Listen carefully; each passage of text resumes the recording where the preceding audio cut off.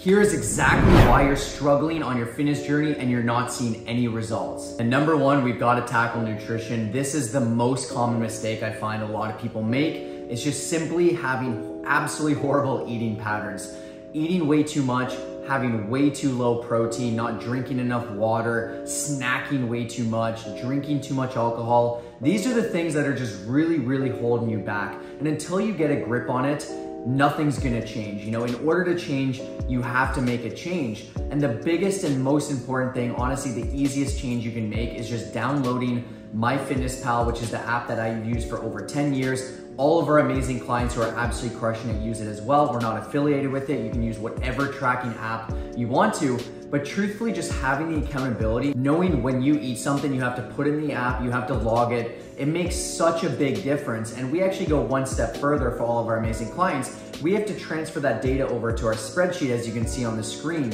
And this is gonna show you data between just the overall metrics in terms of averages, in terms of just seeing the boxes being checked off. And like, once again, having accountability, especially when you do struggle with eating, when you're social, when you're someone that does have just a lot of issues within that, it makes such a big difference. Not overeating, not over snacking can change the game for so many people. I promise you, you make this change, it'll make such a big difference on your journey. Next up is always looking for that next secret. Truthfully, this is just gonna leave you wasting so much time, so much energy, and a lot of money overall. I see so many times people are looking for that next thing when they don't realize there's actually no secret, but because they're always looking for that next thing, they don't focus on what matters, such as tracking nutrition, uh, such as overall strength training, focusing on the more important things, right? So I really encourage you to stop looking for that next secret because it's just never gonna show up. You're just gonna be spinning your wheels over and over and over again, and unfortunately never seeing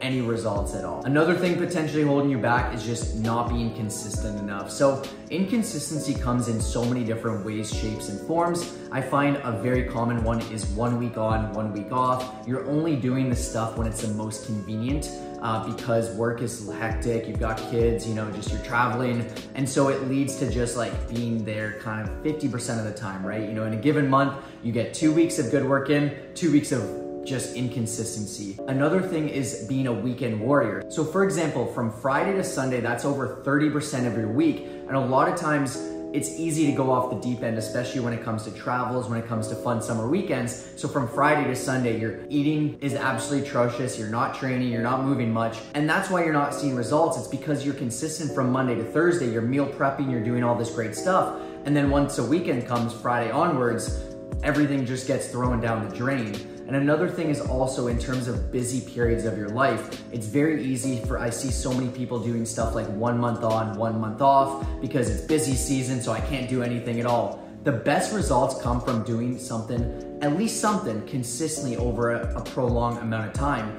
And the thing is, it doesn't have to be perfect. Even if it's a busy season and you scale it down from, let's say you're aiming for 100% and you're able to give 60 to 70, that is so much better than going right down to zero and saying, well, I can't train, I can't move, I can't do any of this stuff, you know, and because I can't do that, I can't focus on my nutrition, and then it just becomes this really horrible spiral of just not seeing results. So aim to be as consistent as possible. I know it sounds cliche, I know it sounds obvious, but a lot of people are missing out on this simple factor. And before I jump into the next one, fun fact, I have been online coaching for close to 10 years now, over 4,000 transformations with myself and my team. Obviously, there's lots of obstacles, there's different things we need to navigate, as you can tell from this episode. However, our goal is to create a game plan and approach to help you no matter what you're struggling with, no matter what's happening, and create a custom approach for you that's gonna set you up for success. So I'm willing to give you a money back guarantee. That's how confident I am to be able to help you succeed, to lose body fat, to build muscle. Just fill out down below, first link, no strings attached. Check out the website, see what we're all about. And I can promise you, you fill out that application, you take the leap, I, you will be absolutely blown away at the results you get. And once again, I promise you that you get results or your money back. That's how confident I am. So fill that link out down below. And number four, your circle is holding you back.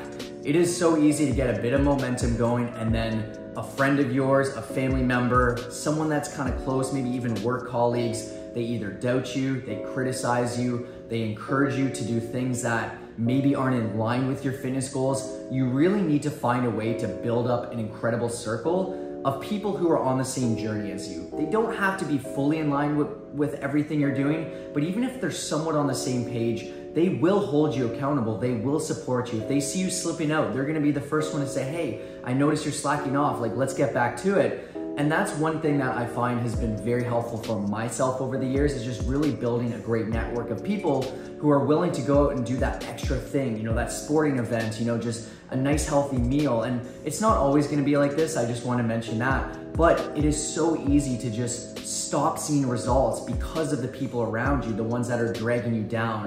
And it makes such a big difference on your journey if you're the only one focused on trying to get results and being healthy. And that's why even when you join our community, you're not just with one coach, but you're also with a community of coaches as well as a ton of amazing people are on the exact same journey who are gonna give you recipes, who are gonna bring you up, who are gonna encourage you. And that makes such a big difference to help you start to finally see results and continue to see results. Last but not least, this is a tough one for some people to hear, but it's possible you don't want it bad enough and you just don't actually care about getting results. I know a lot of times people have this amazing goal. They, you know, say they want to accomplish something. Maybe they've received a, you know, uh, negative feedback from a family member, or maybe they see someone else doing something. They're like, you know what? I want to lose weight. I want to get into it. And my goal is to get in shape for summer. You have to really ask yourself, how bad do I want it? And not to sound cliche with that question, but I see so many times people say they want to do something, but 0% of their actions are in line with what they say they want to do. And if that's the case, you just really don't want it bad enough.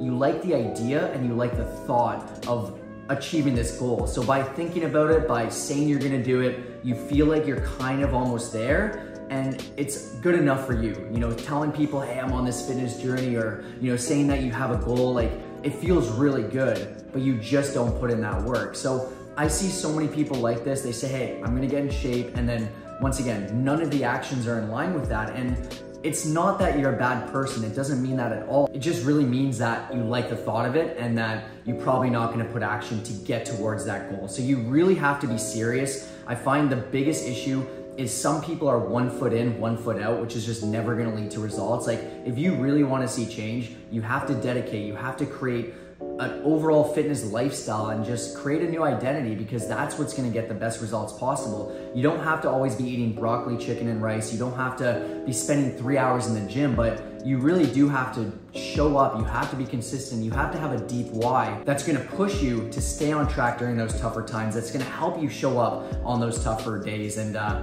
that's gonna be one of the most important things. That's why I wanted to leave one of the best for last on this amazing video. So hopefully that helps. Show up for yourself, get accountability, set those big goals that's gonna help you get to that next level, create that circle, focus on consistency, change those eating patterns. I promise you, you will be a completely different person. One year from now, you focus on these five important factors that could be holding you back, and you will be absolutely amazed at what you can accomplish. And feel free to fill out that first link down below. I'm more than happy to help. I guarantee your results, and thank you for spending time with me today.